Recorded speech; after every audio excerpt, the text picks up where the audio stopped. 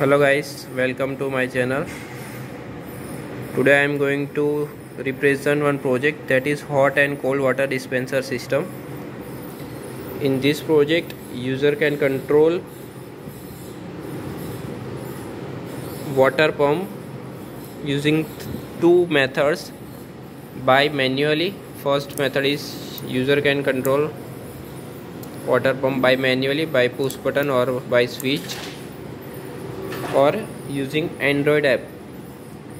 This system is also voice based system. User can speak like h then it will dispense the hot water. If user can speak c it will dispense the cold water. If you want to stop the pump you can say s let's check the practical demo of this project.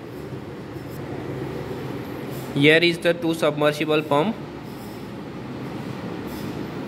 One is for hot water and second is for cold water. This is the circuitry part. This is the controller part. These are the two push buttons which we have used for hot water and cold water. This is the 16 cross 2 LCD you can see each and every process on LCD also. Here is the two batteries. For two uh, submersible pumps.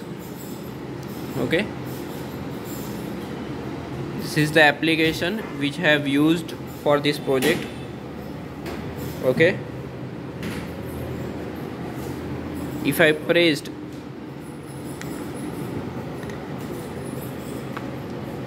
H from application hot water pump will on and we will get hot water outside.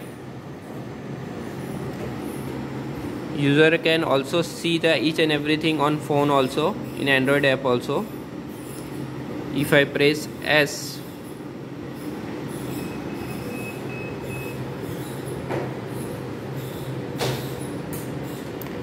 process will stop and pump will also turn off.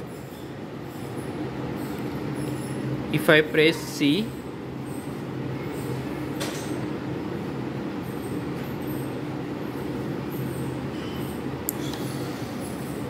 cold water pump will turn on and we will get the cold water outside. Also we will get the notification on android phone.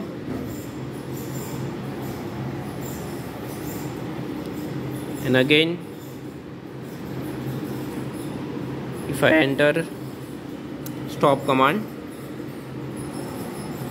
process will stop. User can also control using push button here. This is the hot water push button water water pump will on. This is the cold water hose button. Okay. If you want to get any information about this project you can email me